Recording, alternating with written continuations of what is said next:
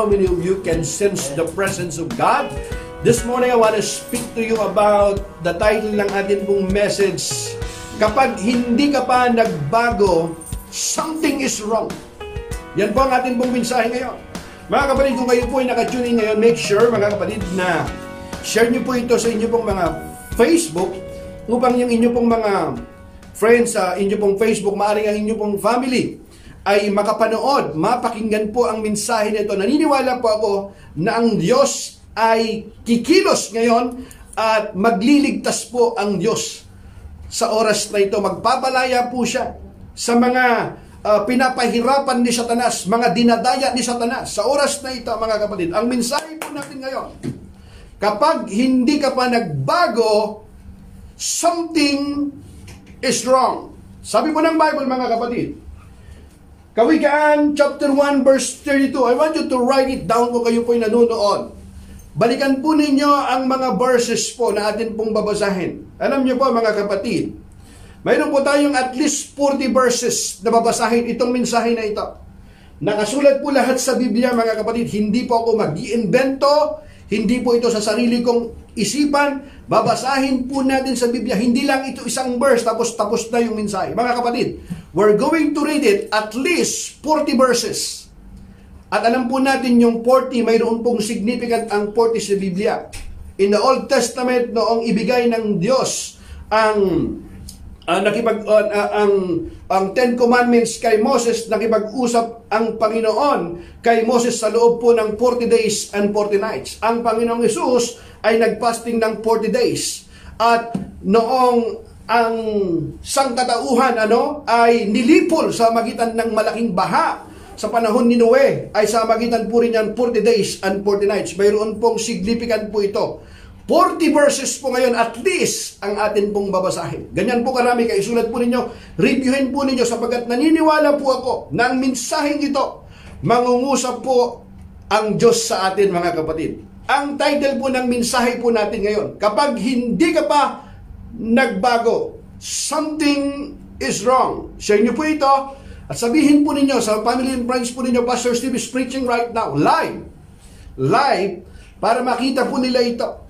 Watch kayo at itong 40 minutes na ito, after 40 minutes, sabihin po nila kung sila'y naglalaba ngayon o mayroon po silang pupuntahan, nanonood sila, mamaya ka na manood, mamaya mo na yan, maghintay ka muna, naka-live si Pastor Steve at ang maganda po ang mensahe ngayon, sabihin niyo po yan, by faith, yes.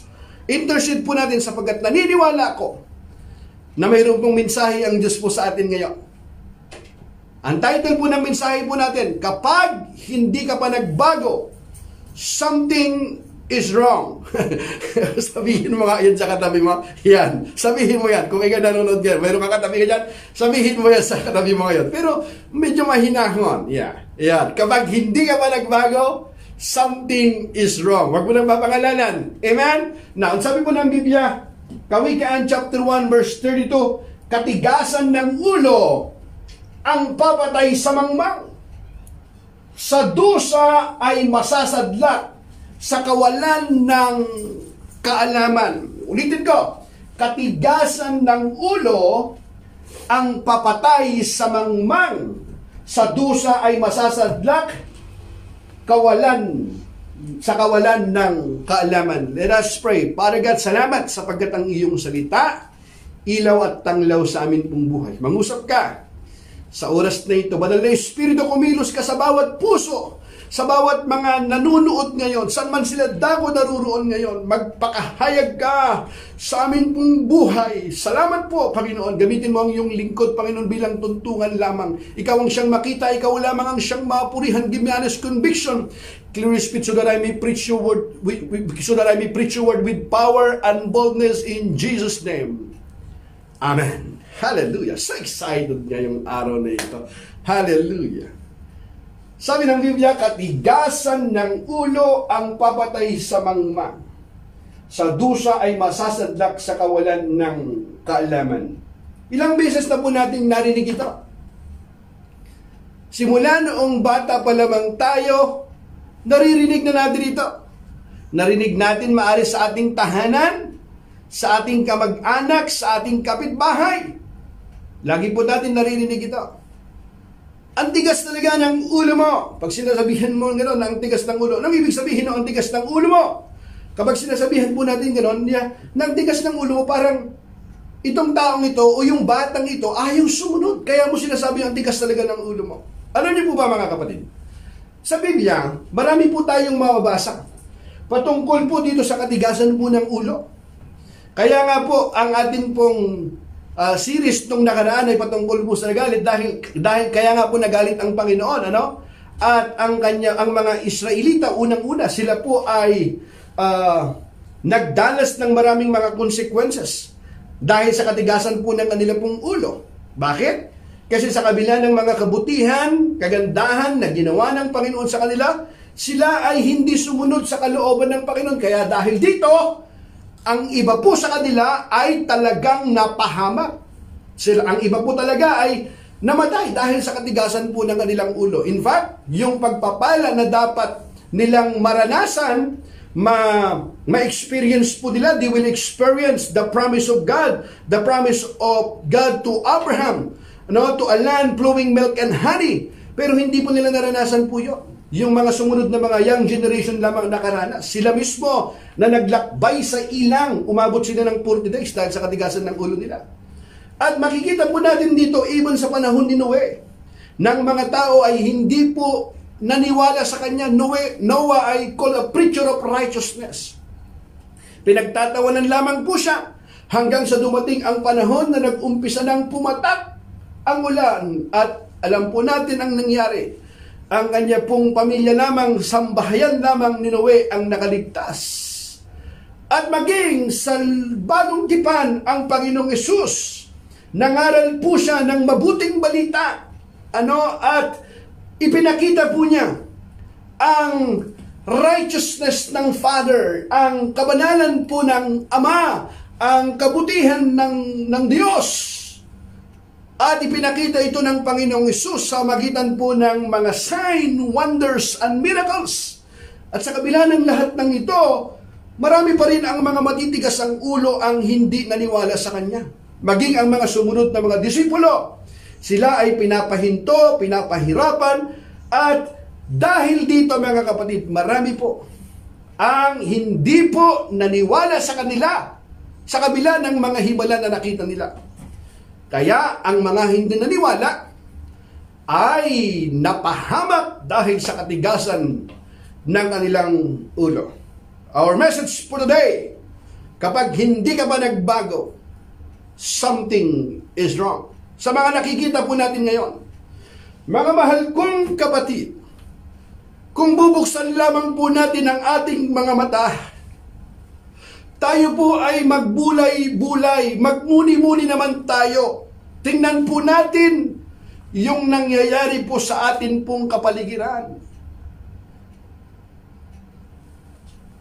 Mahigit na pong isang taon tayong nagdaranas nitong pandemic na ito. Wala po tayong hinto araw-araw sa pananalangin sa ating mga frontliners, sa mga health workers po natin. Hindi po tayo humihinto at hindi tayo napapagod manalangin maghintay, umasa, magtiwala, manampalataya sa Panginoon na matatanggap din natin ang katugunan ng ating panalangin. Mar napakarami na po ang namatahay.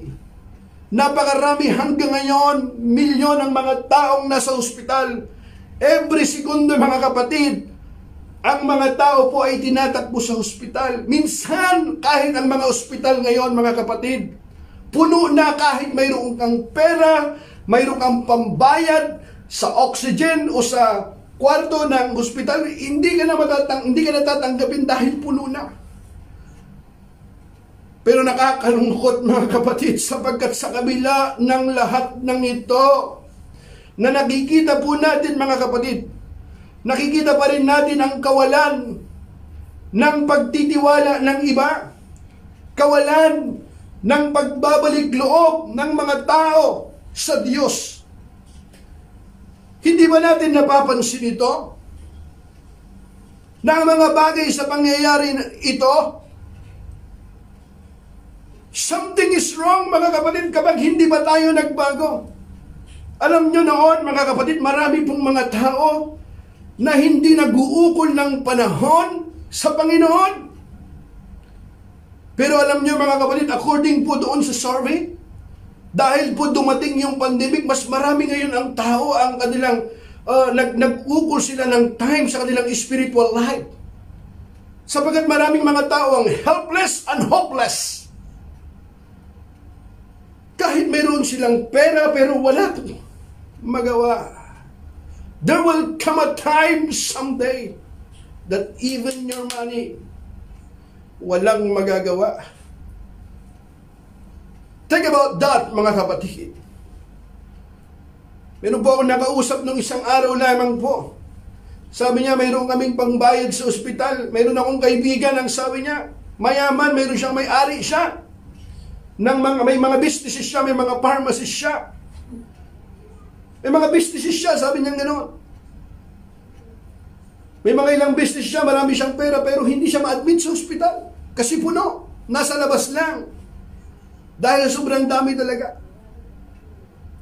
Mga kapatid, buksan po natin ang ating mga mata at tayo po'y mag bulay-bulay. Magmuni-muni naman tayo mga kapatid. Kapag hindi pa tayo lumuluhod hanggang ngayon sa kabila ng ating nakikita. Mga kapatid, examine ourselves. Something is wrong kapag hindi ka pa nagbago. Tinan niyo ba kung sinasabi ng Biblia mga kapatid? Isaiah chapter 55 verse 6 to 7. Write it down. Seek the Lord while you can find Him. Ano version? Seek the Lord while He is near. Seek the Lord while you can find Him. Call on Him now while He is near. Now, hindi niya sinabing tomorrow, later, When you are in the hospital, call on Him now while He is near. Don't wait na ikaw muna ay ma-infect ka. Don't wait na ikaw ay tatakbo sa ospital. Don't wait na ikaw ay nakadextrose ka o naka-oxygen ka. Saka ka tatawag sa Panginoon, now, seek the Lord. Hallelujah. Hushakarababababa. You're watching right now, mga kapatid. I want you to share this sapagkat itong mensahe na ito mga kapatid, kapag napanood po ito, at least man lang mga kapatid, sila ay makapagbulay-bulay. At maaring nawa ito yung gamitin na tools ng Panginoon para po sila manumbalik sa Panginoon. Ito yung naniniwala po na yung si Propeta Usaya. Hanggang ngayon, mga kapatid, ito po yung pagtawag ng Panginoon sa mga tao Sapagkat yung iba nakakalungkot na papanood natin, tuloy-tuloy pa rin sila sa paggawa ng masama. Let the wicked change. Let the wicked change their ways and banish the very thought of doing wrong. Let them Let them turn to the Lord that He may have mercy on them. Kita niyo yung purpose ng Panginoon? That they may have mercy on them. Yes, turn to our God. For He will forgive generously. Hallelujah. Notice the word mercy. Forgive generously. Yan ang ating pong Diyos. Kaya wag po ninyong iisipin mga kapatid na yung akin pong mensahe ay para masaktan po ang inyo pong damdamin. Hindi ko po hangarin po yan. Ito po ay atas po ng pag-ibig. Atas po ng pag-ibig ito upang ma- ma- marinig po natin ang katotohanan na ang aral po ng Diyos na ipina, gusto niyang ipahayag sa atin. Hindi niya po yung, yung pagtawag ng Panginoon, mga kapatid. Hanapin mo si Yahweh habang siya'y matatagpuan. Bakit mga kapatid, habang siya'y matatagpuan? Kasi darating po ang panahon na hindi lahat ng pagkakataon ay dumarating. Kahit gugustuhin mo na ang isang bagay ay hindi mo na magawa. Hindi ba ngayon na lamang mga kapatid? Kahit gusto nating umuwi, makapiling makasama ang ating mga mahal sa buhay bilang OFW mga kapatid. Gustong gusto rin namin makapagbakasyon na. At lalo, marami po iba po sa inyo. Mayroon po kayong pamasahe, mayroon po kayong pera, para gusto nyong umuwi, makasama ang inyong mga mahal sa buhay, pero hindi makauwi ngayon. Dahil po sa pagkakataon. Yung iba mga kapatid, naghihintay pa. Naghihintay lang ako ng panahon. Kasi gusto kong maglingkod sa Panginoon, pero hindi ngayon. Do you know that delay obedience is disobedience? Disobedience po yan. Kasi kahit gugustuhin mo, pagdating ng panahon, hindi mo na magagawa. Mayroon akong kaibigan, nakasama ko sa bahay dati, ang sabi niya, alam mo, pagdating ng time, gusto ko ring sumama sa inyo. Gusto kong maging part ng ministry, dyan sa worship team, kapag gumaling ako. Kapag gumaling ako na mabuti ng aking kalagayan. Pero alam niyo mga kapatid, sabi ko sa kanya, malakas ka pa. Pare, sumama ka na. It's, it's time. Pero alam niyo mga kapatid, nakakalungkot, hindi na dumating yon. Makalipas lang ng ilang taon, hindi na, wala na, kinuha na siya. Ganyan po yung buhay mga kapatid. Kaya ang sabi ng Panginoon, di ba, hanapin mo si, sabi ni, ni, ni Asaya, hanapin mo si Yahweh habang siya'y matatagpuan. Manalangin ka sa Kanya habang siya'y malapit pa. Manalangin ka sa Kanya. Dapat nang talikuran ang mga gawain ng taong masama. Talikuran ang gawain ng masama. At dapat magbago ng pag-iisip ang taong liko Sila'y dapat manumbalik at lumapit kay Yahweh upang kahabagan at mula sa Diyos makakamit ang kapatawaran. Hallelujah. Makakamit nila ang kapatawaran. Kita niyo po yung pagtawag ng Panginoon. Yan ang purpose ng Panginoon. Napakaganda ng layunin ng Diyos sa bawat isa sa atin. Hindi ba natin napapansin yan mga kapatid? Yan ang kanya pong layunin sa atin habang siya'y malapit pa. Kaya mga kapatid, kapag alam po natin sa sarili po natin, maybe this time, right now you're watching me, and you know that your heart is not right with God. You are not living right. Today is the day of salvation. Turn to the Lord, sabi po ng Biblia. Hallelujah. Hallelujah. Proverbs chapter 29 verse 1. If you keep being stubborn after many warnings, you will suddenly discover you have gone too far. You have gone too far. Think about it. What happened to Pharaoh?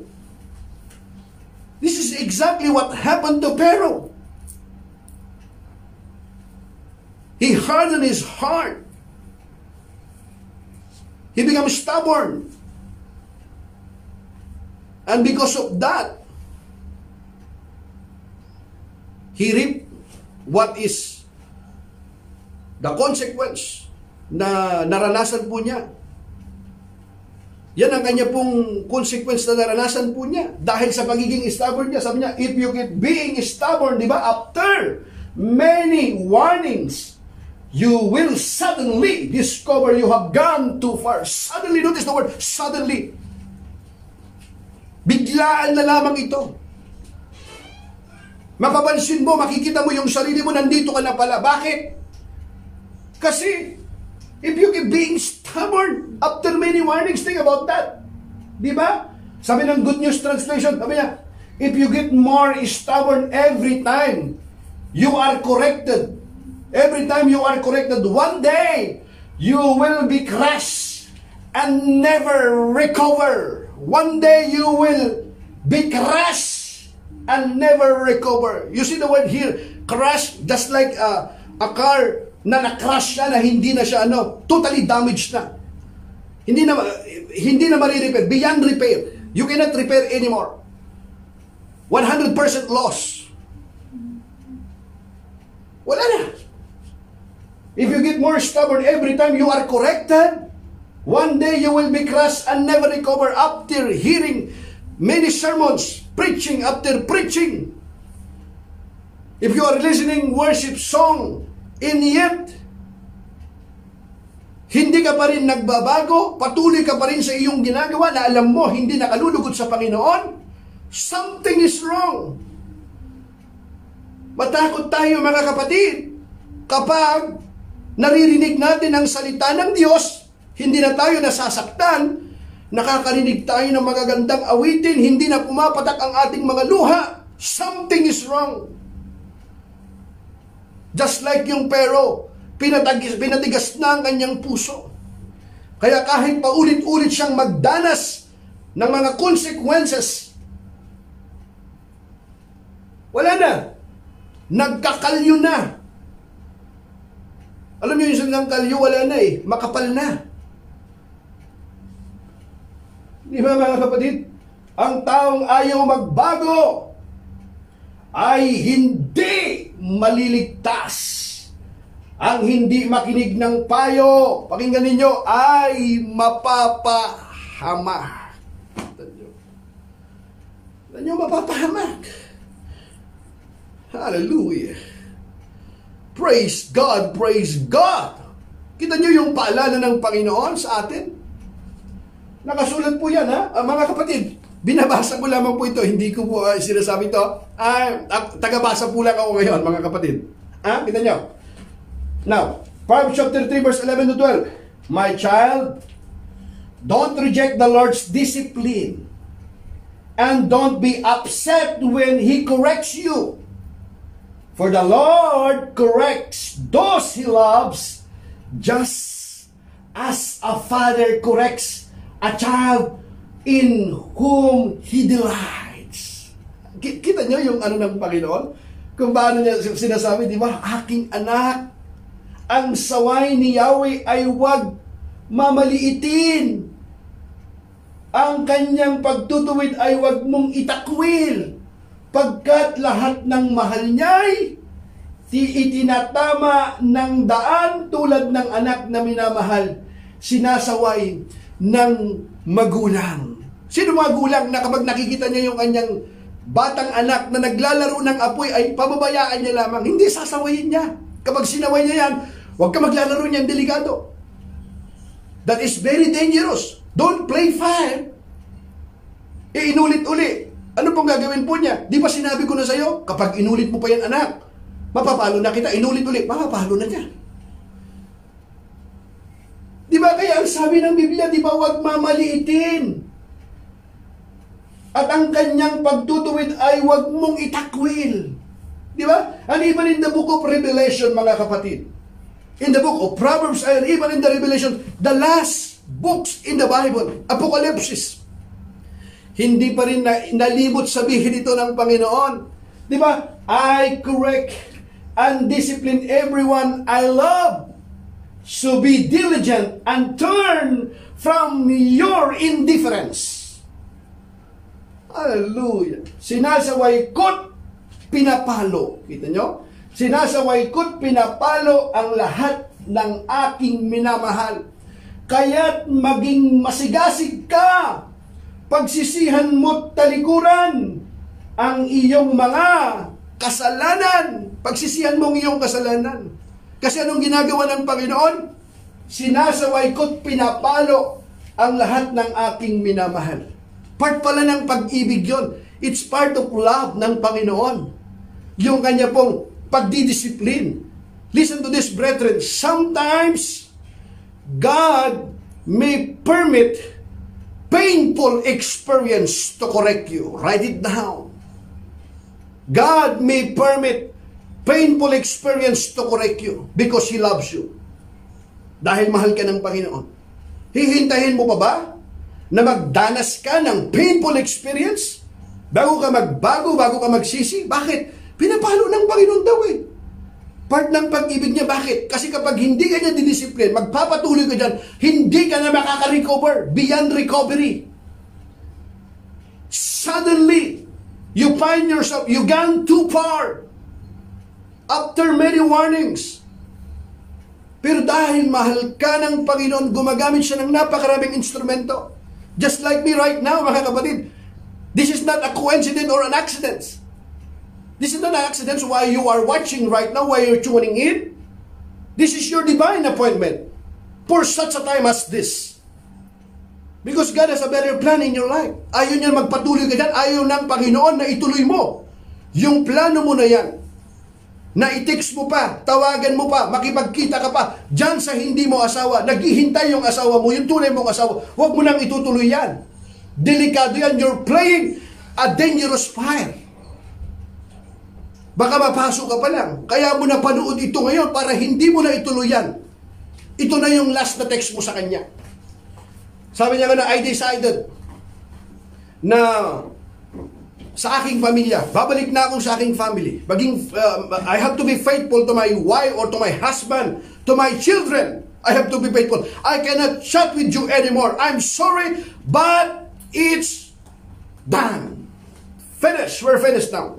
Yes, mga kapatid, kung alam mo na yung patutunguhan nito, mga kapatid, ay hindi makakabuti sa iyo, huwag mo nang itutuloy pa. That's why you are watching right now.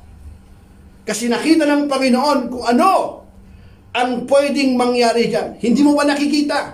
Kaya wag ka nang mag wag mo nang ipas wag mo nang wag ka nang mag wag ka nang mag-suicide diyan. It's a suicide mission mga kapatid.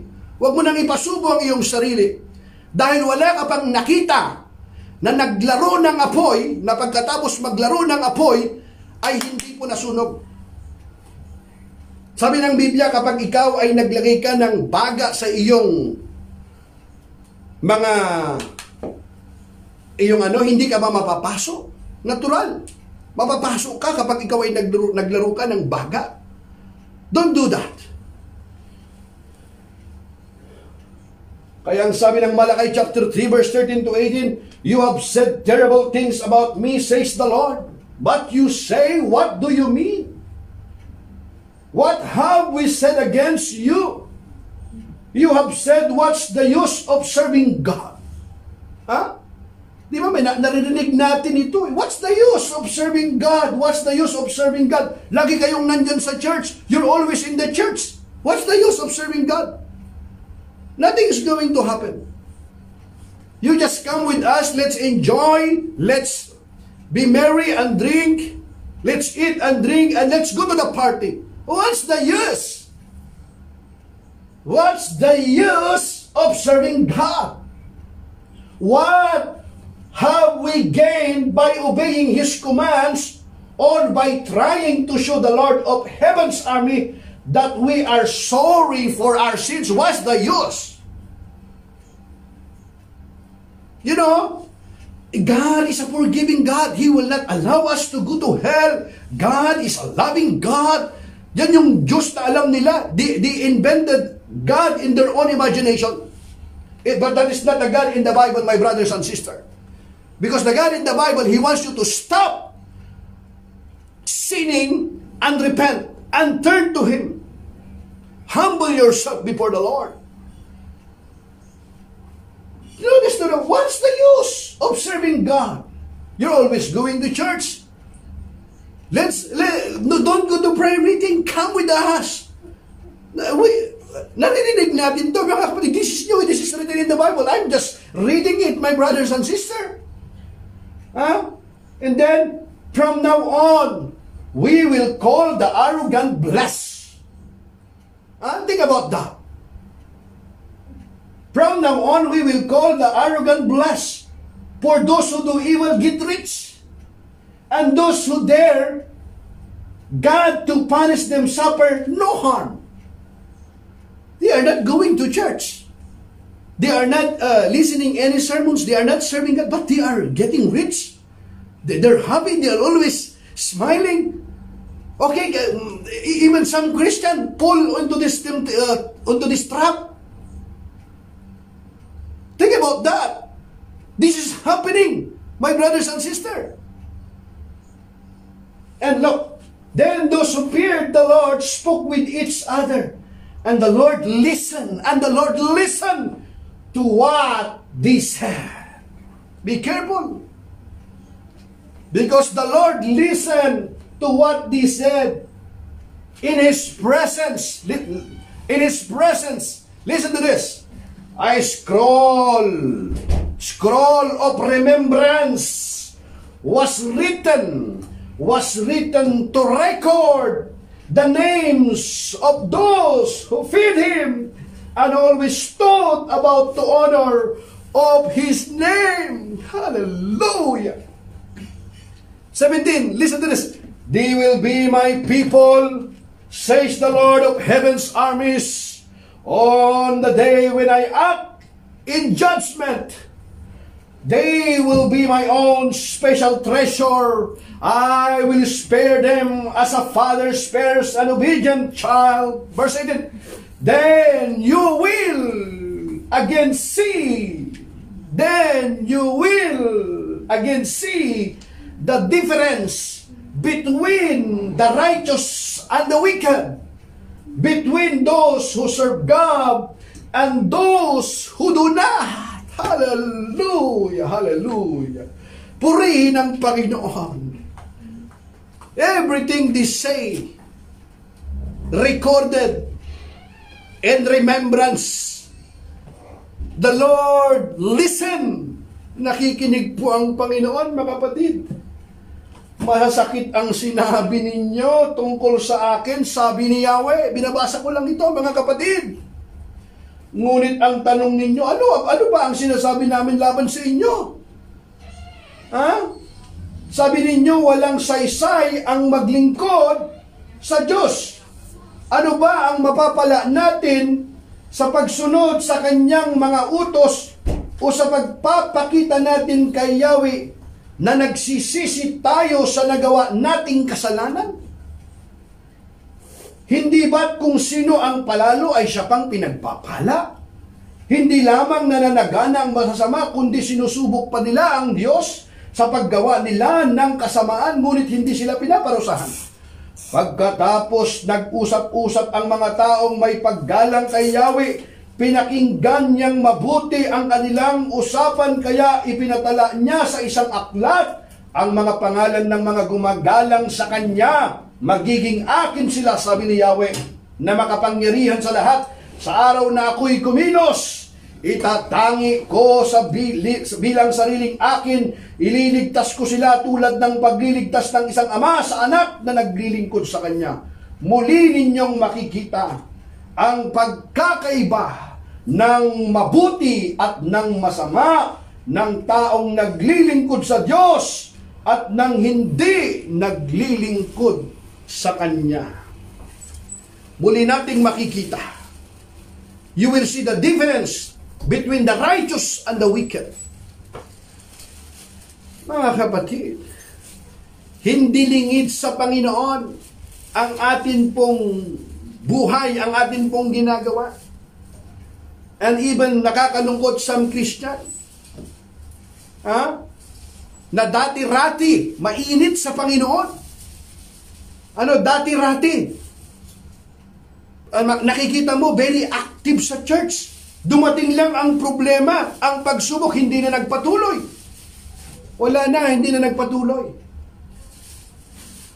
Kapag ikaw, sa tagal nito, itong pandemic na ito, ha, sa tagal nito, at, at yung mga tao sa paligid mo, sa tao sa paligid mo, hindi ka pa nakakapag-share ng Word of God sa kanila, Ah, hindi ka ba nakakapag-share ng Word of God? After many sermons, after many trainings, ano na atin pong napakinggan? Something is wrong. Something is wrong. Kung wala pa rin nabago, something is wrong mga kapatid. Why? Sa tagal na nito. Sabi sa 2 Timothy chapter 3 verse 1 to 5, you should know this Timothy. You should know this Timothy You just simply write your name here. You should know this Steve Lee. You should know this Steve. You should know this Steve. Ha? Ilagay mo lang yung pangalan mo doon. You should know this Timothy. That in the last days, there will be very difficult times. Huh? There will be difficult times. Isn't it? My brothers and sisters, there will be very difficult times for people will love only themselves and their money. They will be boastful and proud, scoffing at God, disobedient to their parents, and ungrateful. They will consider nothing sacred. They will be unloving and unforgiving. They will slander others and have no self-control. They will be cruel and hate what is good. They will be their friends, be reckless, be puffed up with pride, and love pleasure rather than God. They will act religious. They will act religious, but they will reject the power that could make them godly. Stay away from people like that. Timothy, you should know this. You will see that they will post Facebook about verses in the Bible, but after posting verses in the Bible, the next posting, what happened? Come on. We can see this in the time of Jesus. So many hypocrites until now. Many people playing hypocrites. Huwag nating mamasamain mga kapatid. I'm just simply reading it mga kapatid. At kapag ka tayo po ay nasasaktan, tinatamaan po tayo nito, magpuri tayo sa Panginoon, magpasalamat tayo. Bakit? Pinapaalalahanan tayo ng Panginoon. Pinapaalalahanan tayo ng Panginoon. Ha? You should know this, Timothy. Ano pa? Ha? And then, and next, now, think about that. But you, Timothy, ha? But you, Timothy, but you, Steve, o lagay mo lang yung pangalan mo dyan. But you, Timothy, certainly know what I teach and how I live. Hallelujah. Kita mo, hindi ka pala kasama. Hindi ka pala kasama doon. Ah, hindi ka kasama doon. Kasi nakikita natin ito, mga kapatid. Nangyayari ito. Di ba, mamimili sila ng mga preacher na yung ipipreach ay mga maganda sa pandinig. Mahal ka ng Diyos kahit anong gawin mo. Mahal ka ng Panginoon kapag namatay ka, ipapanalangin ka namin na sa langit ka mapunta. Hindi hahayaan ng Panginoon na mapunta ka sa impyerno. Gusto ng Panginoon na tayo ay yumaman. Gusto ng Panginoon na wala ng problema na dumating sa buhay natin. Sinong Diyos kilala mo? Sinong Diyos yon mga kapatid? Ha? You are promoting ano eh. Walang ganun mga kapatid. Kung gusto mong ipakilala yung Diyos, kumplituhin mo. Kumplituhin mo, mga kapatid. Kaya yung mga tao, ina-expect nila, akala na yung Diyos na lang yun. Kaya pag mayroong pagsubok, ay mayroon din palang persecution. Wala na, hindi na nagpapatuloy. Bakit? Kasi yung inintroduce nilang Diyos, yun lang, mga kapatid. Hindi po, mga kapatid. Kapag hindi ka nagsisi, nagpatuloy ka sa kasalanan mo, sa impyerno ka mapupunta, maglangoy ka sa apoy ng impyerno. That is written in the Bible. Revelation chapter 20 verse 14 to 15. Ang sinumang hindi nakasulat ang kanyang pangalan sa aklat ng buhay, itatapon sa dagat-dagatang apoy, sa apoy ng impyerno. Ito ang pangalawang kamatayan. Sabi ng Biblia. Hindi ko sabi yan, mga kapatid. Pinabasa nila ba yan sa atin, mga kapatid? Hindi eh. Sulat din yan, mga kapatid. Kanina pa tayo rito. Lahat ng sinasabi ko, mga kapatid, in, in, nasa verses yan, mga kapatid. Hindi ko ito imbento. Kaya wag po kayong atas po ito ng pag-ibig. Kaya ako po binabasa, kapatid. Aha. But you, Timothy, certainly know what I teach and how I live. Kita mo yung kanya pong uh, mentor niya, yung kanyang discipler na si Paul. Uh, and what my purpose in life. Huh? Timothy certainly know what I teach and how I live. And what my purpose in life is. You know my faith, my patience, my love, and my endurance. You know how much persecution and suffering I have endured. Yes. You hear that? Suffering and persecution. You know all about how I was persecuted where? In Antioch? Where? In Iconium? Where? In Lystra? But the Lord rescued me. Listen to this. From all of it. Hallelujah. Purihin ang Panginoon. Rescue me from all of it. Hallelujah. Hindi ba pahintulot ng Panginoon na ikaw ay mananatiling bigo? Yes! persecuted but not abandoned. Hallelujah. Hallelujah. Purihin ang Panginoon. Yes! And everyone, listen to this ha. Ito, hindi ito tinuro sa inyo eh. Hindi ito ipinakilala sa ating Diyos na ito. Dali nyo ha, pakinggan nyo ito. Yes! Write it down. Verse 12. And everyone who wants to live a godly life in Christ. Ah, everyone. Kasama ka dun ha? Kasama tayo. Yes, and everyone who who wants to live a godly life. Question. You want to live a godly life? In Christ Jesus? Expect this. Will suffer persecution. Ah. No, we need to expect. ah? It's written in the Bible. Everyone who wants to live a godly life in Christ Jesus will suffer persecution. Bah! Evil people and impostors. Impostor ito yung mga ano eh. Mga teacher na mga tinuturo, mga maganda lang sa pandinig eh. Basta nagtatides and offering kayo, nag, you are giving, you are uh, attending, it's okay. Kahit yung kasama mo, hindi mo tunay na asawa, it's okay. Mga impostor na mga pastor at mga ministro yon. Hindi kalooban ng Panginoon yan. Magsisi ka at magbalik loob sa Panginoon. Kapag hindi ka nagsisi, nagbalik loob, after many warnings, ano sabi ng Biblia? Suddenly, suddenly you will find yourself crushed beyond recovery. But evil people and impostors will flourish. They will deceive others. They will deceive others. And, pakinggan nyo ito, will themselves be deceived. Pare-pareho na silang na-deceive. Pare-pareha silang nag-imbento ng sarili nilang Diyos. Pare-pareho silang nag-imbento kung ano yung hindi naman nakasulat sa Biblia yung pinapaniwalaan. Wala. Di ba? Verse 14. Tinan mo sabi ni, Paul kay Timothy, But you, hallelujah, must remain faithful. Kita nyo, meron bang remain faithful? Saan? To the things you have been told, you know they are true. Hallelujah. You know they are true, for you know you can trust those who taught you. Hallelujah. Purihin ang Panginoon. That's why to God be the glory. We are I'm humble and grateful here in True Gospel Church. We know na yung mga nagpapatuloy dito mga kapatid, nagiging maayos po ang kanilang buhay. Maliban na lang na siya yung naghanap ng kanyang sariling ikapapahamak niya. Pero purihin ng Panginoon, sa ngayon naman, ay by the grace of God, ay nakikita natin na lumalago yung ating mga kapatid. I'm not preaching our church here.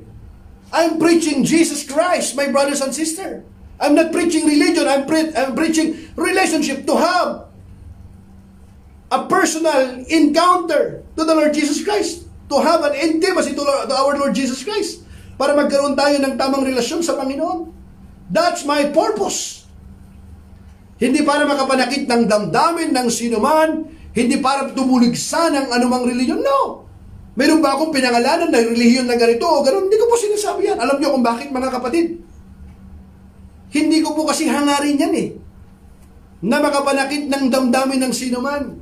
Binabasa ko po yung salita po ng Diyos. Ayun nyo, kita nyo mga kapatid, binabasa ko. Ngunit sinunod mo ang aking itinuro sa iyo. Sabi ni Pablo kay Timothy, ang aking ugali at layunin sa buhay. Ano ba yung layunin natin sa buhay, kapatid? What is the purpose of our life? Ha? Na, ang Diyos ba ang sentro ng ating buhay?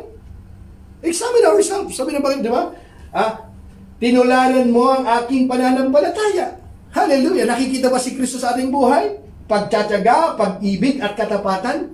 Nasaksihan mo ang mga pag-uusig at paghihirap na dinanas ko. Sa Antikea, sa Iconio at sa Lestra, napagtiisan ko ang mga ito. At sa lahat ng ito, ay iniligtas ako ng Panginoon. Gayon din naman, ang lahat ng nagnanais mamuhay ng matuwid bilang tagasunod ni Kristo Jesus ay daranas ng mga pag-uusig. Yes, daranas ng mga pag-uusig, mga kapatid. Samantalang ang masasama ay lalo namang magpapakasama at ang manlilinlang ay patuloy na manlilinlang at sila man ay malilinlang din. Ay, pareho na sila maninlang. Nakasulat po yan, kapatid.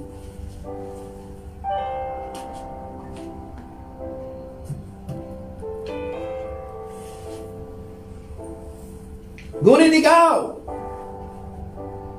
magpatuloy ka sa mga aral. Hallelujah. Nagpapatuloy ba tayo, mga kapatid? O busy, busy, busy ako, busy ka, busy? Busy, busy, busy. Busy tayo sa lahat ng bagay, pero pagdating sa Panginoon, mga kapatid, huwag tayong magdadahilan na busy ka sa Panginoon. Kasi kahit kailan hindi naging busy ang Panginoon sa iyo. Pagtulog mo, binabantayan ka ng Panginoon na yung mga tibok ng puso mo, tumitibok pa yan. Iminulat mo pa ang iyong mata paggising mo sa umaga, magpasalamat ka na sa Panginoon. Pagtawid mo sa daan, iningatan ka ng Panginoon, magpuri ka na sa Panginoon. That's not taken for granted. Mga kapatid, don't take for granted na yung mga nangyayari sa atin ay mga circumstantial na mga nangyayari sa atin ay binabaliwala lang natin. Mga kapatid, maaring ang mga bagay na ito ay mayroong gustong iparating sa atin ng Panginoon. Baka masyado na tayong attached sa mundong ito. Baka masyado na tayong in love sa mundong ito. Kaya yung mga bagay na masyado natin pinagkakaabalahan ay tinatanggal sa atin. Para pansinin naman natin, mag-ukol tayo ng panahon sa Panginoon. Hindi naman nagmamakawa ang Panginoon sa atin ay kailangan mo ng oras sa akin kasi nalulungkot. Hindi nalulungkot ang Panginoon. Mayaman ang ating Panginoon. Lagi siyang mayroong oras. Lahat ng magmamayari siya. Pero concern siya sa iyo at sa akin, sa atin mga kapatid. Para sa ikabubuti natin yan mga kapatid eh. Ang gusto kasi talaga ng Panginoon sa atin mga kapatid, ano eh? Yung puso natin, buo. Hindi divided, hindi undivided. Hindi divided yung ating puso. Ngunit ikaw, magpatuloy ka sa mga aral na natutunan mo at matibay mong paniwalaan. Yes, matibay mong paniwalaan. Bakit? Kailangan itong panahon na ito, mga kapatid, matibay dapat. Sapagkat kilala mo ang mga nagturo nito sa iyo. Ganun ang kausap lang kahapon eh. Sabi ko, ano bang turo ang aral na natutunan ninyo? Bakit ganyan sa inyo? Pinabayaan kayong nakikipag lasingan, babae sa lalaki, naglalasingan, nagsusugal. Ano ba yung, ano ba yan? Hindi, wala kasing bawal sa amin. Ganun ba mga kapatid? Ano yon? Pagdating ng panahon, hindi ako ano, hindi ako mag, ano eh, hindi ako masusurprise kapag kayong mga tao, pagdating ng panahon, mayroon ng dalang beer sa church. Pagdating ng panahon, delikado. Itong nangyayari sa mundong ito. Bakit hindi naman katakataka yun eh? Eh katabi nga eh. Magkasama pa. Sinong katabi? Yung kanyang kaluguyo, habang yung kanyang asawa naghihintay, nag-aalaga ng kanyang anak. Come on. Hindi ba nang, nangyayari ito mga kapatid? Nangyayari ito mga kapatid, ang dami ng winasak eh, na pamilya, mga pandaraya, mga panlilinlang ni Satanas. Kasi wala, naririnig natin sa church kung ano, mga politics ang pinag-uusapan. Maraming mga nagtutulog-tulugan kasing mga ano eh. Mga mga ngaral na mga compromise. Hindi ko alam kung bakit. Kaya po mga kapatid, I will not apologize kung bakit po ako ganito. Binabasa ko kasi ito mga kapatid, nakikita natin eh. Kaya maraming mga ano eh, nag-unfollow sa atin. Mga kapatid, diyan ka lang. May mensahe ang Panginoon sa iyo. Huwag mo tatanggalin. Hindi ko ano to, hindi ko hangarin na makapanakit ng damdamin. Ilang beses kong uulitin ito.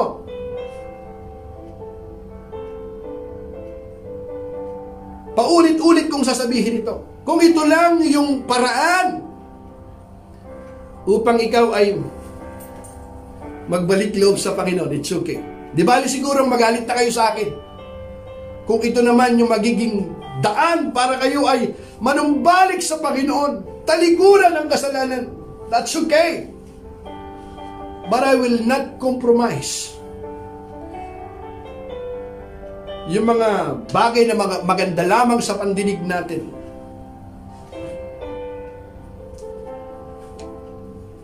Kaya ang sabi sa Tagalog sa 1 Peter chapter 4 verse 3 to 4, sapat na ang panahong inaksaya ninyo sa paggawa ng mga bagay na kinahuhumalingan ng mga hintil. 1 Peter chapter 4 verse 3 to 4. Sapat na ang mga panahong inaksaya ninyo. Sabi sa English, di ba? Sabi niya, pakinggan you have had enough in the past of the evil things that godless people enjoy. You have had enough. Sapat na. Ha? Puro kayo enjoy, enjoy dati. Eh, Hindi mo ba sapat yun? Sapat na yun.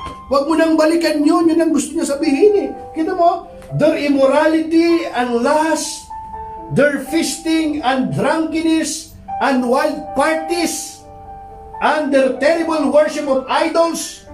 Of course, your former friends are surprised. Of course, your former friends are surprised when you no longer plunge into the flood of wild and destructive things they do. So they slander you. They slander you. Why you're not coming with us now? What's what's wrong with you? They are laughing at you. They think you are crazy. They think you are killjoy. Yes. Why? But you know what, my brothers and sisters, don't get angry with them. When they slander you or persecute you, be compassionate. Pray for them. Why? Because if they only know what you experience since you come to know Christ, your life has never been the same again. Experience Christ, that's why. Hallelujah! And if they will experience Christ also, if you share the love of Christ, the Word of God through them, baka makakasama mo pa sila. That's why let your light shine before men that they may see your good works and glorify your Father in heaven. Eh, pag hindi nila nakikita yan, they are not reading their Bible. We are the walking Bible. They watch our life, especially when people know that we are Christian. They watch our lives. Hindi ka palamura. Hindi ka nakikisama sa mga usaping mga bastos na usapan. Hindi ka nakikisama sa inuman. Sa mga lasingan. Bakit? Kasi para para maniwala sila sa iyo, ikaw nakakasama ka. Something is wrong kung hindi sila kung kung hindi ka pa rin nakakapag-share. Bakit? Walang kaibahan eh. Something is wrong. Mag magsisi tayo kapatid. Sapat na ang panahong inaksaya ninyo sa paggawa ng mga bagay na kinahumalingan ng mga hintil, kahalayan, mga pagnanasa ng laman, paglalasing. Hindi ba sapat yun? Walang habas na pagsasaya, pag-iinuman, at kasuklam-suklam na pagsamba sa mga Diyos-Diyosan. Lahat kasi ito nag-umpisa dyan eh.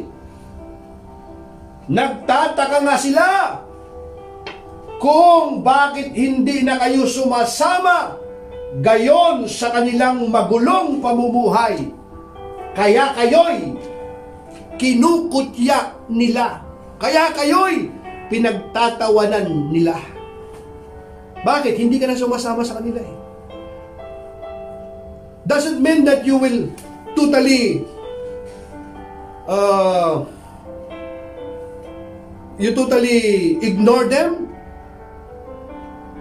Doesn't mean that you totally forget them. No. The only thing is you should not do what they are doing. Huwag mo nang gawin kung ano yung kanilang ginagawa na mga bagay na hindi nagbibigay ng kaluguran sa Panginoon. Pero, keep, keep praying sa kanila. Keep sharing the love of Christ. Yung naranasan mo. Keep sharing. Hindi kasi ganito siya. Something is wrong kung hindi ka pa rin, hindi mo pa rin na-share sa kanila yung gospel sa napakarami na nating time na ipinagkaloob sa atin ng Panginoon. Come on, mga kapatid. Ang daming mga Christian ngayon na ano, very komportable. Komportable, komportable sila sa kanilang comforter nila. As been said that the Holy Spirit does not comfort us to be comfortable. The Holy Spirit comfort us to comfort also others. Mhm. Kaya sabi ni Kristo, you know what Jesus said? You search the scriptures because you think they give you eternal life. You search the scriptures because you think they give you eternal life. You join the Bible study, you go to church. But the scriptures point to me. Yet you refuse to come to me to receive this life. You refuse to come to me. Why? It's not enough to go to church, my brothers and sisters. It's not enough to go to a Bible study. That is good. But it's not enough. You can go to church and pray every day. And you never know Christ. Because knowing Christ, you must have an encounter. You must experience Him sa iyong buhay. Have you come to the cross? Have you surrendered your life to Christ completely? That is continuously surrender. Sinasaliksik ninyo ang mga kausulatan sa pag-aakalang doon ninyo matatagpuan ang buhay na walang hanggan. Ang mga kasulatang iyan ang nagpapatotoo tungkol sa akin. Ngunit, ayaw naman ninyong lumapit sa akin upang kayo'y magkaroon ng buhay. Yan ang gusto ng Panginoon. Lumapit sa Kanya. Ito yung paanyaya ng Panginoon sa atin, mga kapatid. Noon hanggang ngayon, paanyaya pa rin ng Panginoon yan. Lumapit tayo sa Kanya. Come as you are. Whoever you are, whatever your past, the Lord is calling you. He loves you. Yes? Pastor Steve is preaching the love of Christ. Yes, that's true mga kapatid. Mahal ka ng Panginoon. Kaya ka nanonood ngayon. Ayaw kasi ng Panginoon na ikaw ay mapahamak. Maybe right now, nanonood ka at it seems na hindi ka na nakakadama ng peace, matagal nang hindi ka nakakaramdam ng peace sa iyong puso. Dahil sa mga pangyayari, masyado ka nang abala sa mundong ito. You are worried. You feel rejected, rejected. You feel na hindi ka na-appreciate sa mga you you give your best and yet despite all of this it seems na hindi ka napapansin. You know what, my brothers and sisters? I have good news to you today. Kasi kahit hindi ka mapansin ng sino man, sometimes nangyayari talaga yon. Pero ang Panginoon, lagi kanyang pinapansin.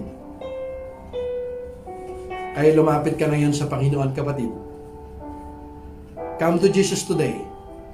Surrender your life to Christ. This is the right time, mga kapatid. The Bible says,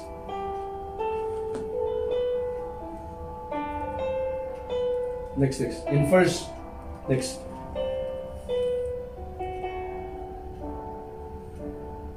Next.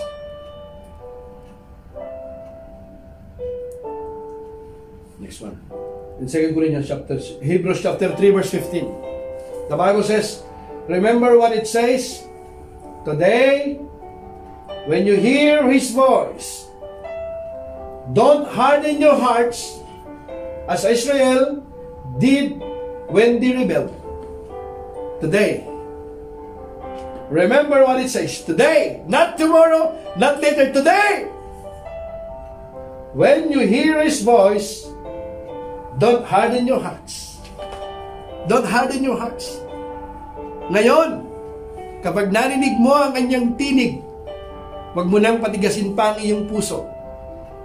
Pastor, hindi ko naman narinig ang tinig ng Panginoon eh. Mga kapatid, kailangan mo ba na yung anghel mismo ang bababa, bababain ng Panginoon para marinig mo? Anak, magbago ka na. Anak, isuko mo na ang buhay mo sa akin.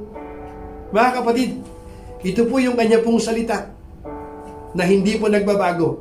Binabasa ko po sa inyo ngayon. Ginamit ako ng Panginoon na instrumento para iparating sa iyo, sa atin, ang kanya pong magandang plano at layunin sa atin. Layunin. Layunin niya sa iyong pamilya. Sabagat hindi pa tapos sa iyo ang Panginoon. Mayroon pa siyang napakagandang plano sa, kanya, sa iyo. Alam mo ba yon mga kapatid? Kaya ang sabi ng Panginoon ngayon, Today, when you hear His voice, do not harden your hearts. Sabi niya, huwag kang tumulad sa mga nangyari sa mga Israelita, naging matigas ang kanilang ulo. Kaya sila napahamak. Ayaw ng Panginoon na ikaw yung mapahamak. Kaya yung mga pangyayaring ito, sabi ng Biblia, nag, nagsisilbing example sa atin yan. Mga kapatid, today is the day of salvation. Sabi ko ng Biblia, mga kapatid, di ba? In Corinthians chapter 6 verse 2, 2 Corinthians chapter, For God says, at just the right time. Hallelujah! Hallelujah! Pusha karabababashika. At just the right time. I heard you. Hallelujah! I do believe ngayon, somebody's praying right now. Somebody's praying, maybe a mom, a father or mother. You're watching me. Uncle, auntie, a father, mother, brother, sister. Maybe you're watching me. Hallelujah. You're watching me today, my brothers and sisters. You're tuning in. The Bible says, I'm reading it. For God says, ito yung good news mga kapatid. Ito yung good news. For God says, at just the right time, I heard you. Hallelujah. On the day of salvation, I help you. Indeed, the right time is now. Is now. Today is the day of salvation. Hallelujah! Today, now. Mga kapatid, ayaw kong matapos ang, ano ang miss this opportunity na matapos ang gawain na ito without giving you an opportunity to meet Jesus, the Lord of your life. Mga kapatid, kung ikaw po ay nanonood ngayon, maybe this time nanonood ka, you know sa iyong puso. Maybe you are not satisfied right now the quality of your marriage. Maybe right now you are you don't have peace in your workplace. Maybe in your flat, in your in your house. Today, I have a good news sa inyo ngayon, mga kapatid. Sabagat tinatawag ka ng Panginoon, ito yung araw ng pagliligtas ng Panginoon. Kaya ka nanonood ngayon. Surrender your life to Christ. Come to Christ today. Gusto kitang ipanalangin. I want you to pray this prayer by heart. Sabihin mo ito na nagmumula sa puso. Yes, kapatid. Kung ikaw ngayon ay nanonood, tinakda ng Panginoon ng araw na ito dahil gusto kang iligtas ng Panginoon. Gusto kang pagalingin ng Panginoon. Gusto ng Panginoon na maranasan mo ang kapayapaan, kagalakan na kanya pong inihanda sa iyo. Sabihin mo ito na nagmumula sa puso. Sabihin mo, Dakilang Diyos, Ama naming nasa langit, humihingi po ako ng tawad sa katigasan ng aking ulo, sa aking mga kasalanang nagawa sa inyo, pinagsisisihan ko po, Panginoon. Pinaniniwalaan ko po ang iyong ginawa sa cross ng Kalbaryo. Ikaw ay namatay at muling nabuhay Marami pong salamat sa iyong pagpapatawad, sa iyong pagliligtas. Tulungan mo ako, Panginoon, makalakad sang ayon sa iyong kalooban. Banal na Espiritu, sa oras na ito, puspusin mo ako. Isinusugo ko na ang aking buhay. I surrender my life to you, O God. Ito ang aking dalangin na nagmumula sa puso. Sa pangalan ni Jesus. Amen at amen. Hallelujah. Hallelujah, hallelujah. Mga kapatid, have you prayed that simple prayer? If you prayed that simple prayer, mga kapatid, I believe you got born again at hindi lamang yun narinig ng Panginoon ang iyong dalangin na yan. Natutuwa ako sapagkat yan ang pinakamagandang desisyon na ginawa mo. Upang ikaw ay lumago sa iyong pananampalataya, mga kapatid, start reading the Bible. Pag ikaw ay bago, start in the book of John. And start mong uh, join a fellowship. Even through Zoom, mga kapatid, make sure kapag maluwag na, pwedeng mag-church, go to church at ipamalita mo ang kabutihan, ang pagliligtas na ginawa ng Diyos sa iyo. Sabihin mo, uh, nanood ako ngayon at I pray this prayer at natama ko yung presensya ng Panginoon. Ipamalita mo sa iyong mga kaibigan niya. Lalong-lalo na sa iyong mga mahal sa buhay and your life will never be the same again. Would you raise your hand to receive the blessings of the Lord? And now to the King of Kings and Lord of Lords, mighty God, everlasting Father, and Prince of Peace. And now because you put God first place in your life and you continue to live a life worthy of the calling and obedient to His word. Now I declare right now, receive your healing. Receive your deliverance. Receive your breakthrough. Now I bless you in the name of the Father, of the Son, of the Holy Spirit. Amen and amen. Hallelujah, hallelujah. Muli po mga kapatid, we thank you for tuning in sa inyong pong pagsama. We love you and we're praying for you. Share niyo po ito para maging daluyan din tayo ng pagbabago. Lord willing, we see you on Sunday.